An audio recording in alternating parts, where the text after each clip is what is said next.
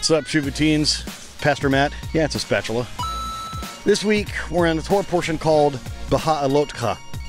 Yeah, say that three times fast. So this week, we're in this particular Torah portion, which starts with Aaron lighting the menorah. Now, let's talk a little bit about that. It says that there were either steps or a stool that he had to stand upon when lighting the menorah, which means in order for him to light it, he had to ascend. You know, we all need to ascend, and we need to light the flame of others. You ever thought about that? You know, people are kind of like candles. The Bible says that the soul of a person is like the candle of God. It's kind of interesting. Never think of yourself as a candle? Don't blow in the wind, you know what I'm saying? Don't let Satan blow it out. Did you ever sing that song as a kid? You know what I'm talking about. Anyway, the idea is we have a job to do. We have a job, and that job is to make sure that our souls are lit, so to speak, and also we have a job to light the souls of others. That's lit. See what I did there?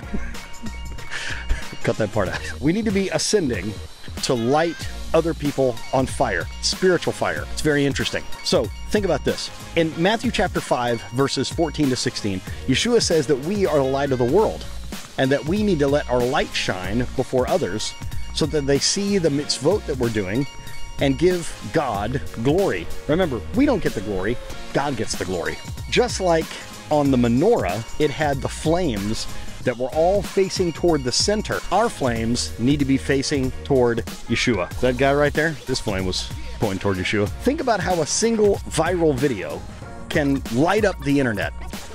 And sometimes it can light up the internet in a good way and sometimes in a bad way. Not everything that goes viral is the best. You and I, through our actions worldwide, we have the potential to have an effect an effect like throwing a rock in a body of water. You see the ripples go out. The same is true with us. You know, in Judaism, every action that we do has an effect on the rest of the whole world, whether good or bad. Here's an idea for a fun activity do a light of the world photo challenge. Capture an image that represents God's light in the world. It could be acts of kindness, something beautiful about creation, something that shows you having moments of community, anything like that. Share these expressions of faith on your group's social media and invite others to spread the light. It's like spreading positivity, it's like spreading good news all around. How about this? Try to commit one act of kindness each and every day that brings light into someone's life, whether that's standing up for someone who's being bullied or just,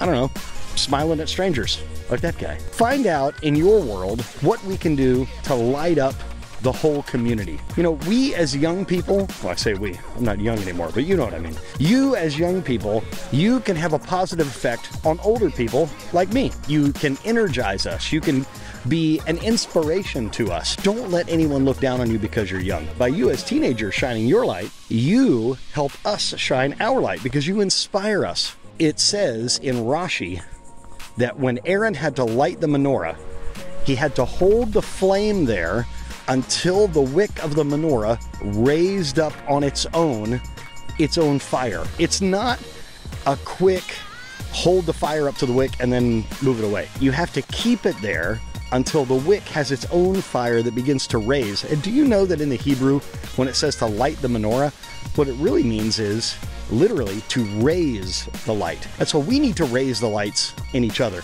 So when someone older like me sees a teenager like you doing something amazing for God, what that does is it's like raising our light because you have your light. It's pretty cool. Shuvu Teens, I'm challenging you, shine your light raise your light so that other people's light can be brighter and make a difference in the world around you. You never know what a little act of kindness can do in someone's day. Someone might be having a horrible time, but one word, one smile, one word of encouragement from you can change everything. So do that. Be like a little menorah out there. Shine your light. Be like a menorah teen. Huh. Too bad we already have a name for this. Shuvu Teens. All right, Shuvu Teens. This is Pastor Matt. Out.